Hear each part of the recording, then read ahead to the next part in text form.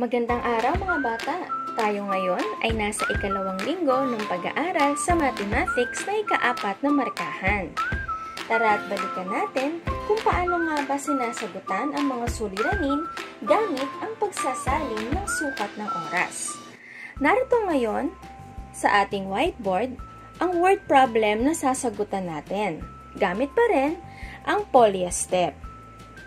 Naglinis si Drake ng kwarto niya sa loob ng 20 minuto. Ilang segundo siya naglinis.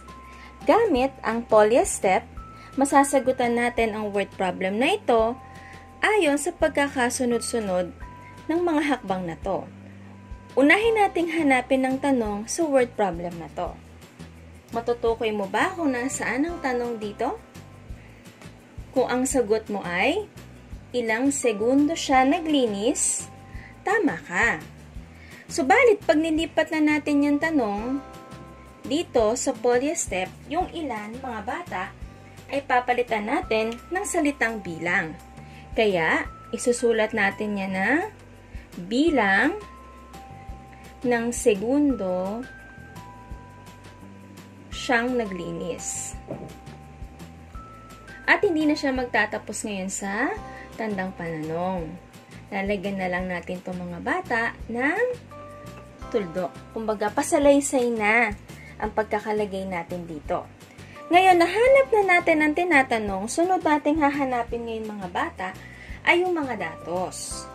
Ano yung mga bilang na nakikita mo na makatutulong sa atin para masagutan natin ang word problem na to? Kung ang sagot mo ay 20 minuto, tama ka ulit. So, ang ating datos sa word problem na to ay 20 minuto. So, mula sa datos na yan, masasagutan natin ang tinatanong na katumbas sa segundo.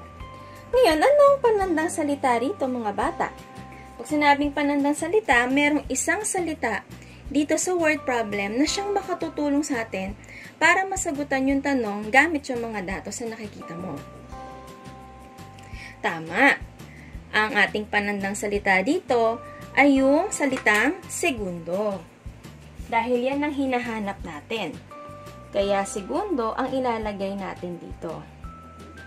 Ngayon, dahil ang datos ay minuto at ang panandang salita ay segundo, kailangan nating isalin yung minuto na nasa large unit papuntang small unit na segundo.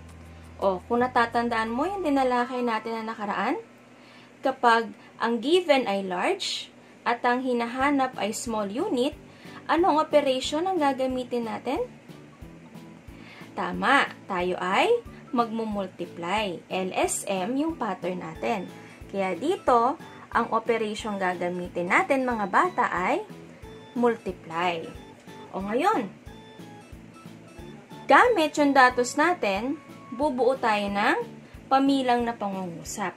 Ano ang magiging pamilang na pangungusap natin? Kung yung 20 minuto ay isasalin natin sa segundo gamit ang operation na multiply. So, syempre, kailangan balikan natin yung conversion table natin. Ilan nga ulit ang katumbas ng isang minuto sa segundo? Tama. Ang isang minuto, mga bata, ang katumbas nun ay anim na pong segundo. So, ibig sabihin, ang imumultiply natin dito ay 20 at 6 na po.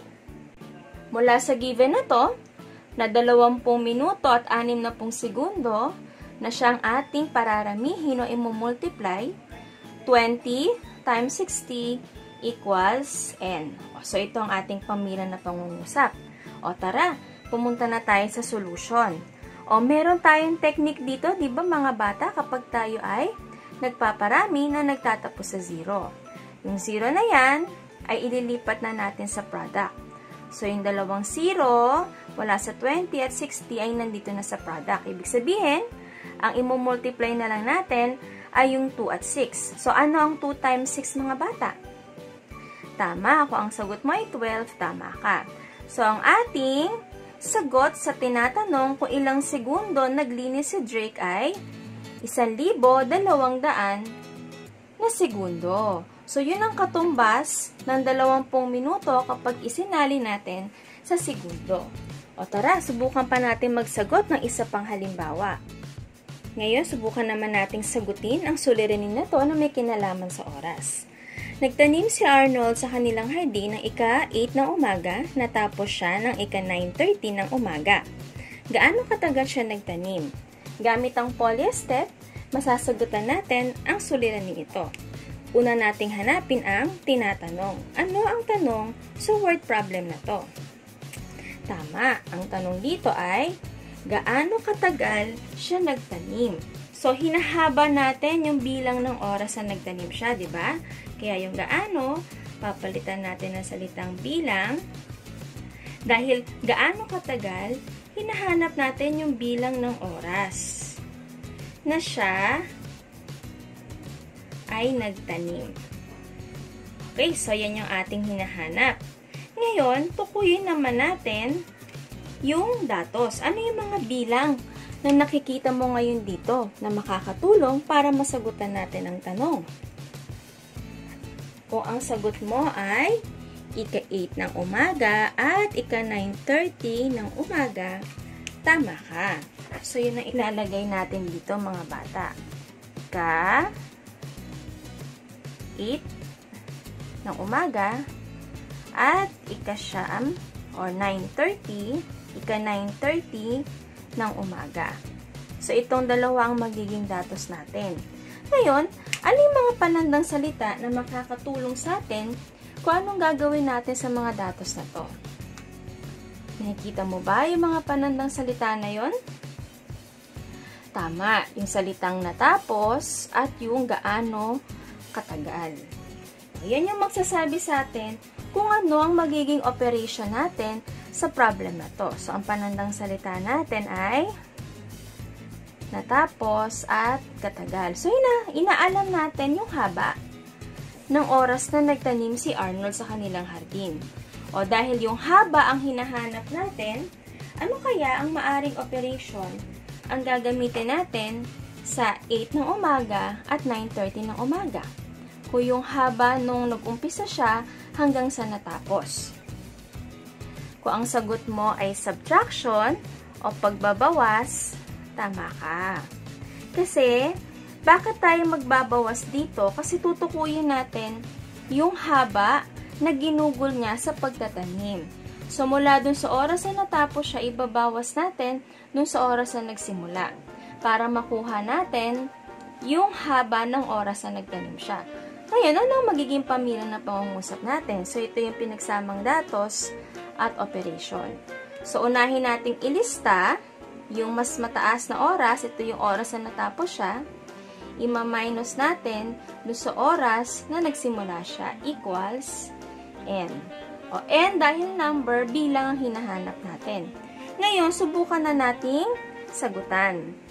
Sagutan natin to na kung saan ay ayusin natin ang patayo yung ating given number. So, ganyan yan mga bata ha. Kung natatandaan mo, itong unang bilang, ito yung oras, 9 o'clock, 8 o'clock. At yung 30 at dalawang 0 dito, yan ay tumutukoy sa minuto. O ngayon, isasubtract na natin ito. 0 minus 0, anong sagot mo? Tama, 0. 3 minus 0, 3 pa rin. Ngayon, itong dalawang tuldok na yan ilalagay natin dito. Kasi yan ang naghihiwalay sa oras at minuto. Sunod natin i-subtract yung oras na 9 minus 8. Ilan ang matitira? Isang oras. Ngayon, isa ay tumutukoy sa oras, kaya isang oras. At yung 30 ay tumutukoy sa minuto, 30 minuto. Ibig sabihin, si Arnold ay nagtanim sa loob ng isang oras at 30 minuto. So, yan yung haba o tagal ng pagtatanim ni Arnold sa kanilang hardin. So, ganun lang natin kinukuha mga bata ang pagsagot ng suliranin sa tulong ng polyester. Huwag kalilimutan yung mga binigay ko sa inyong palatandaan kung paano tayo nagsasalin, large, small, multiply, small, large, divide. At tatandaan na sa tulong ng polystep ay mas madali nating masasagutan ang word problem. Ngayon kung may mga bahagi pa rin sa aralin na hindi mo makuha, maaari mong balik-balikan ang video na to. Hanggang sa muli mga bata, salamat!